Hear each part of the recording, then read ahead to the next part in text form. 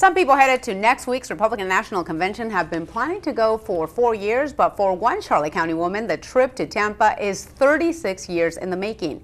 SNN local news reporter Tom Lloyd explains why.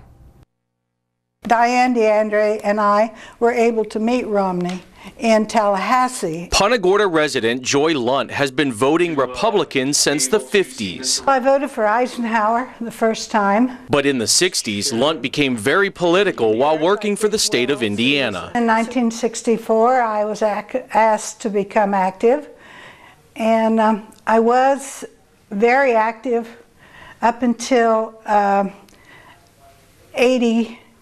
Five. As a member of the Young Republicans, Lunt and her friend went to the 1971 and the 1977 conventions.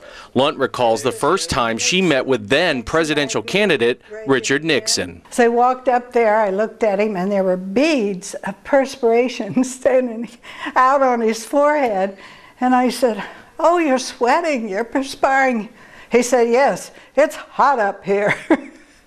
Going through a scrapbook she keeps, Lunt has her original tickets for the conventions, along with many souvenir buttons from different campaigns. Dan Quayle was an administrative assistant for the governor when I was a young Republican. Lunt says she looks forward in anticipation of attending and says being a part of the conventions is something most people never get a chance to experience. How much are you looking forward to this? I mean, it's been, you know, since 76? Yes, yes, it is.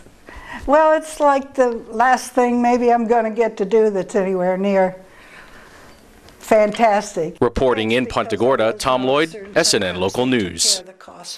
Joy Lunt plans to head to Tampa on Sunday.